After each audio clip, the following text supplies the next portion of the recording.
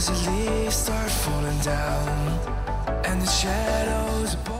Hi everybody. So in my last video I showed you how I've upgraded my old laptop with a new motherboard, CPU, RAM and as well with an external GPU thanks to the EXP GDC. And to be honest, it was a pain to install the external graphics card with this module, even if my laptop model is listed as compatible on the EXP GDC website.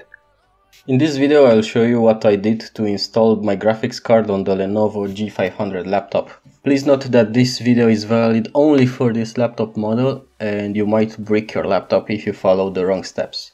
I know this because I've bricked my motherboard once and by the way I'll also show you how to fix a bricked laptop in one of my next videos, so subscribe for that.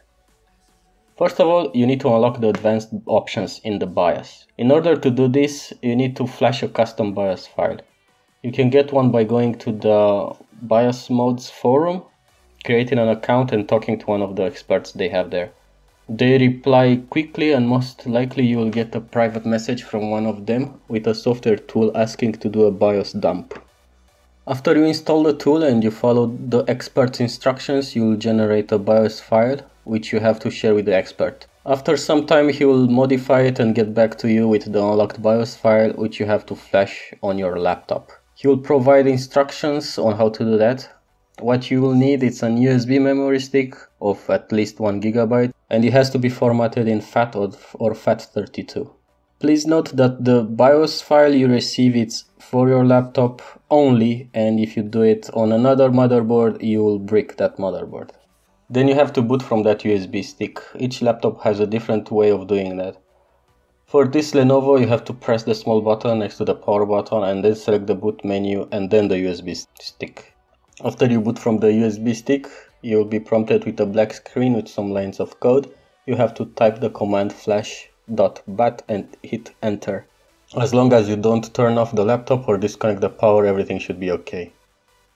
After the flash is finished, boot back into the BIOS and you'll see you have a plethora of new menus and options. Whatever you do, don't disable your integrated GPU. This will brick the laptop. I know because I did it. From here you can activate the hot swap function of the PCIe slot. Then you save the changes. Now it's the tricky part. Whatever settings I tried and no matter what graphics card I've used, I couldn't make the laptop boot with the GDP module connected. In order to make it work, I have to boot without the module connected, put the computer to sleep, connect the module with the graphics card and then wake up the laptop again. Which is not a big deal because even Alienware makes you restart the laptops when you connect or disconnect the external GPU. After you wake up your laptop, the graphics card should appear in Device Manager and then you can install the latest drivers from Nvidia and enjoy your games. This is uh, unless you have a GTX 10 series card which requires additional steps such as the installation of an older version of the driver.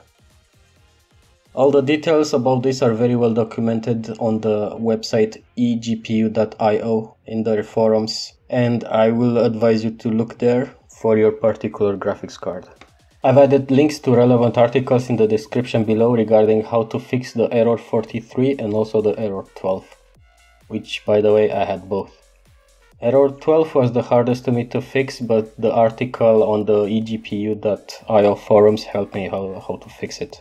I will link them in the description below.